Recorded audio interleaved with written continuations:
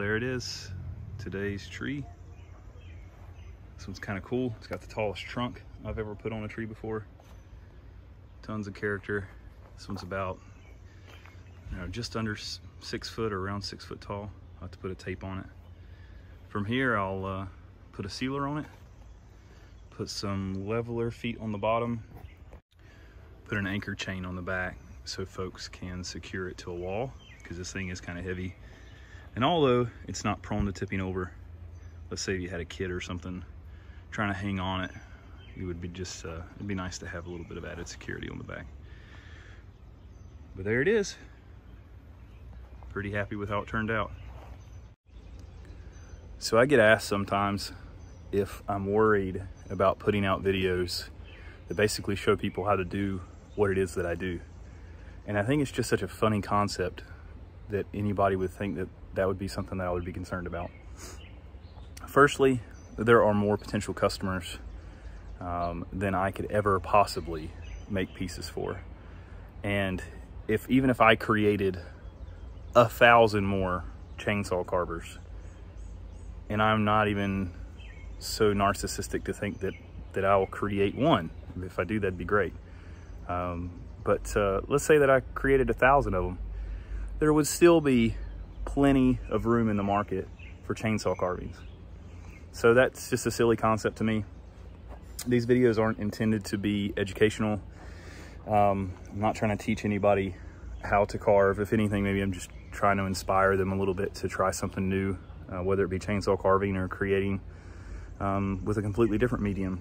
Um, but I'm having a lot of fun with these. It's been interesting to see my business kind of transition from one type of woodworking to another.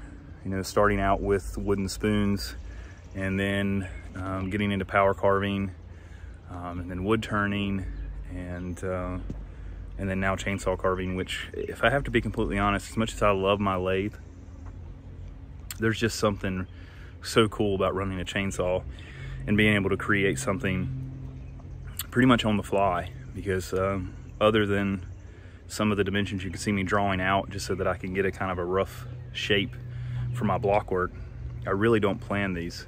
Um, and I just kind of go with the flow. I'm getting ready to sneeze.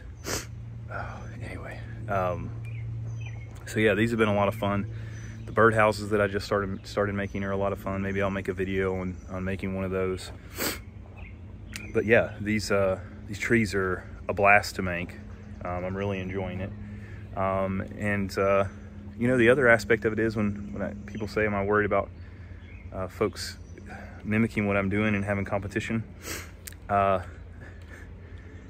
it's 91 degrees out here and there's not a whole lot of people who would uh, wrestle around a 300 400 pound log in 91 degree weather and uh, get covered in wood chips and uh, sweat uh, through their clothes uh, comes the three-year-old to do this so uh, yeah be my guest and so hopefully this video inspires, uh, you know, folks to, to give something new a try. Um, on a safety note, uh, don't um, don't follow in my uh, example. Um, I uh, should probably wear more safety gear, but I don't. And uh, let the safety police go at it in the comments. But uh, you do you, I'll do me. And that's all I got to say about that. So, thanks so much for watching. Hope y'all have a wonderful day and uh, see you on the next one. Take care.